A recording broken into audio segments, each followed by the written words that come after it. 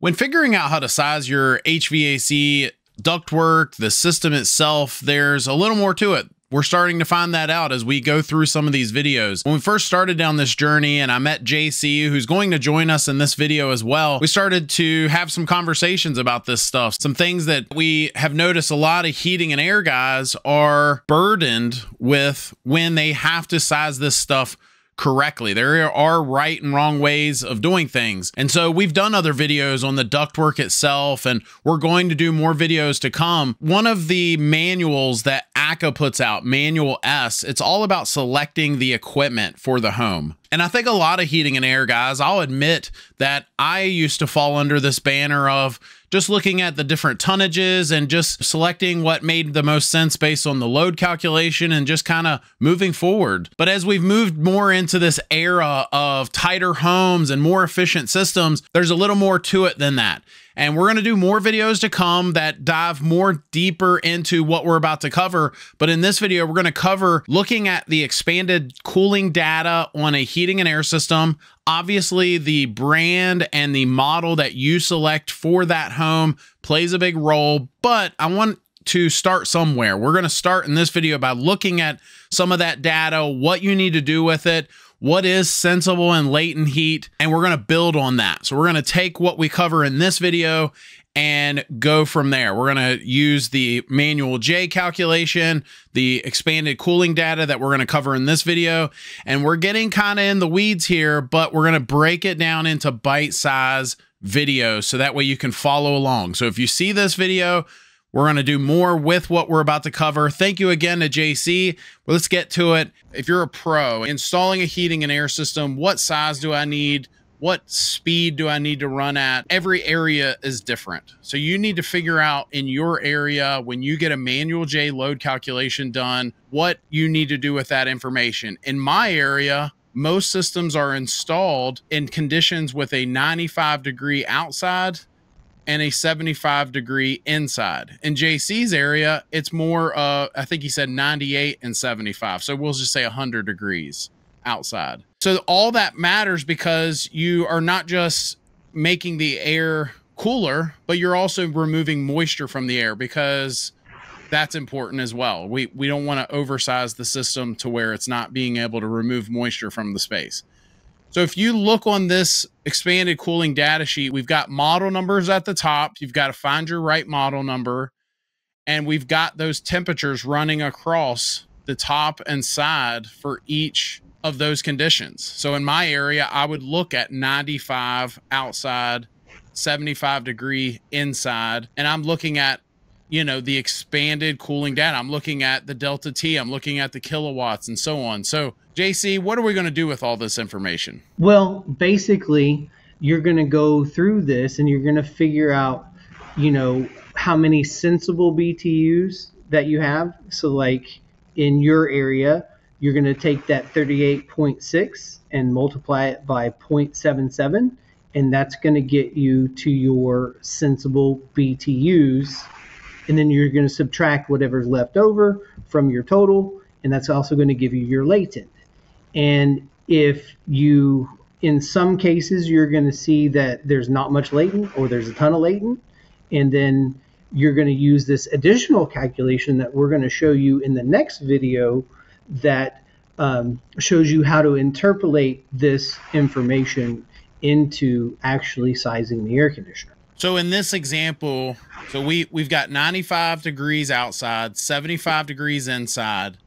We've selected 1340 as our airflow, right? And can you can you just speak real quick on why we're selecting that one in Virginia versus one of these others depending on what part of the country you're in?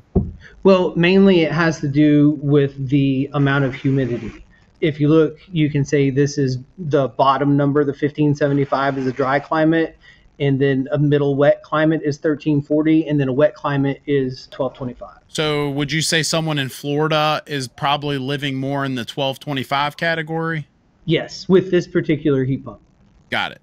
And then you said we're going to take the 38.6, multiply that by 0.77. And the answer is your, your sensible BTUs. Are sensible BTUs. And so Right. I haven't done that math yet, but whatever that math comes out to be, it's going to be less than 38.6, right? You're saying that the sensible BTUs of this system is significantly less than 42,000, Yes. which is what a lot of guys think when they see that model number. Right. They're going to look at that and say that's a three and a half ton air conditioner. Yes, it's a three and a half ton air conditioner, but in the conditions that in your area, this air conditioner really only does 38,600 BTUs of cooling. And then um, 77% of that is the sensible, and, and whatever's left over is the latent. And just real quick, just to wrap up this video, because we are, we're going to take this information, we're going to use an example in a future video uh, of an actual manual J load calculation that, that JC has. And we're going to use this information to figure out which exact system we need to be using. But just real quick, JC, just explain, you know, what is sensible and latent and why some folks, well, I would argue some folks care more than others, right? Depending on what part of the country you're in. So if you could just speak real quick on what those two numbers are and why someone should care. Well, the easiest way to put it is the sensible BTU is the BTUs or the heat energy that you feel, and the latent is all the BTUs that you don't feel.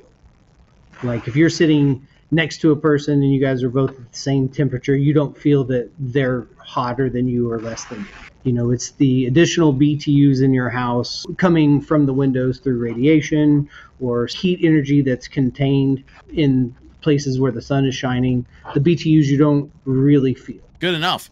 So I'll put a link to the description of this video on this exact cooling data sheet. Obviously, what equipment, what brand, all that plays a role, but you'll be able to pull it up yourself and know exactly what we're talking about, what to look for when you are sizing your next heating and air system, and be able to have something to build on for years to come. If you learn these concepts that JC is covering, you're going to probably be better than what I'd say 80% of the guys that do what we do, JC. You think that's too much of an exaggeration? If you understand this chart, you're in the top 1% of heat and air guys. I love it. I love it. Any final thoughts for this video? I can't wait to make the next one. I uh, I'm I'm asking JC to break this up. So if you see this video, make sure you watch more to come because we're going to use this data to uh, actually apply it in the real world, and you'll be able to see it. So um, I'm excited for that as well. So hopefully that made sense. I know we're kind of, again, we're getting into what I call the weeds now. And again, we're going to do more videos to come on what to do with the information that JC just covered. Most heating and air brands are going to be able to provide this data in some way. You may have to go to their website or contact them directly, but most of them you should be able to get your hands on something similar to what we just covered. Let me know your thoughts down in the comment section below. I'd love to hear about them. If you like this video, I think you'll like this one even more. It's where we talk about the sizing of the supply vents, manual T, the throw of the air, and all that good stuff. Thanks for watching. Hit that subscribe button for more HVAC tips. We'll see you next time.